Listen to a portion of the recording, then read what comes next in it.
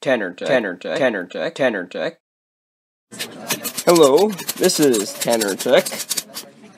And today I'm going to be showing you something that I like to call an all-purpose transformer.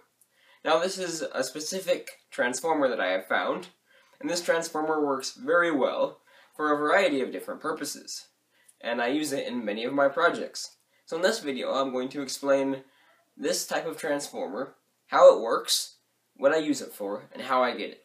So let's get started. I use this transformer in a variety of my projects, including my vacuum tube amplifier, my VFD amplifier, my tube radio, and my coil gun, which you can see in a previous video.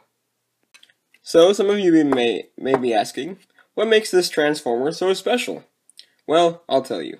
This transformer has three primary taps. Now, this allows this transformer to be used as an auto transformer, which is pretty cool. Now, if you don't know what an auto transformer is, please watch my previous video on what an auto transformer is and how it works. Okay, so let's see what's happening in this transformer. Now, on the transformer, you can see that the taps are labeled. There's 0 volt, which is one of them. There's 120 volts. And there's 277 volts. Now, this allows the transformer to be used as an auto transformer. So if I put in uh, 0 and 120 volts from the wall, I'll get 277 volts out. This allows the transformer to provide high voltages to certain vacuum tube circuits. Now also, if I connect the wires between 277 volts and 0 volts, then I will get roughly 50 volts on the 120 volt pin, which also makes it very cool. Now if I put the power between 0 volts and 120 volts, and then I read the voltage between this pin and this pin, I'll get 160 volts out of it. So now as you can see, from the 120 volts from the wall, I can get a variety of different voltages just from using this auto transformer part. I can get uh, 50 volts, 160 volts, and 277 volts. Now this allows this auto transformer to be used to power many other vacuum tube circuits. Now it might not be as safe as using a typical um, power transformer, but it gets the job done for a very cheap price. Now for the output. So this transformer also has three output taps, and these are all equivalent. So when you're putting the normal voltage in, you will only get 8 volts between this pin and this pin, and 8 volts between this pin and this pin, which would then make you get 16 volts between this pin and this pin. But there's some other cool things that can happen when you change the power input from 0 to 277 volts. So what will happen is this transformer will put out lower voltages. So instead of 8 volts coming out of here, it will be instead about 3 volts coming out of here.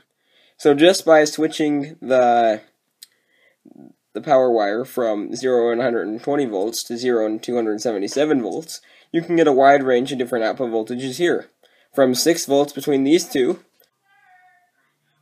to 3 volts between these two, to 8 volts between these two, and 16 volts between these two. So this allows this transformer to provide a wide variety of different voltages that can be used to make lots of different things work.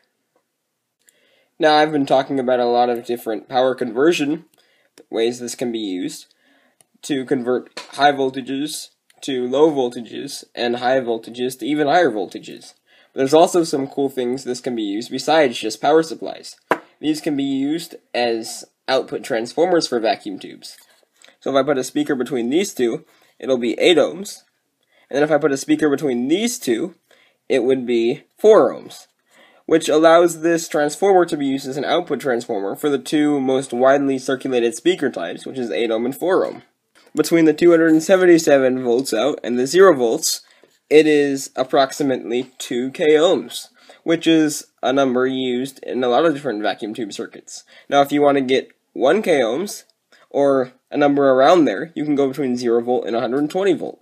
And so, this transformer can be used as a vacuum tube output transformer, and the power supply for a vacuum tube circuit. Now, just to make things cooler, if you also add a voltage into the input of this transformer, say from an oscillator, like in my coil gun, then it will put out a higher voltage. And so now you may be asking, how do I get this transformer? Well, I'll tell you.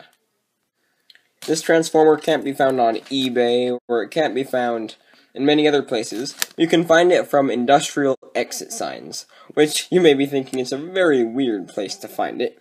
But what happens is in industrial places like schools or factories, if they used 110 volts, that would be quite inefficient because um, over time, according to Ohm's law, if the voltage is higher, then less power will be lost through heat in a longer wire. So to keep things more efficient, what will happen is these industrial places will have a step-up transformer to step up the voltage to 277 volts.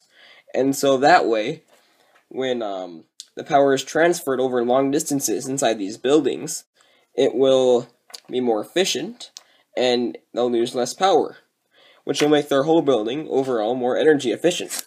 So this transformer, what it's meant for, is so that way you can connect it to 277 volts in industrial applications, and you can still get out the voltage required for whatever purpose you're using it for, whether it be an exit sign or an emergency light, or any other any other things. So that's what this transformer is used for. So if you find any exit signs in any dumps, which I found this certain transformer in a broken exit sign in a school dump, and what will happen is you just open up the exit sign and this transformer will be right there. So when it comes to using these bigger transformers right here, these can handle more current. And so that way they can be used for uh, tube circuits with that require more power. So overall, this is a very great transformer. And if you ever see a transformer like this, I would recommend you grab it immediately because this can be used as a power supply for so many different types of projects. So, this is the coolest transformer and the most uh, useful one that I found. So, thank you for watching and please subscribe.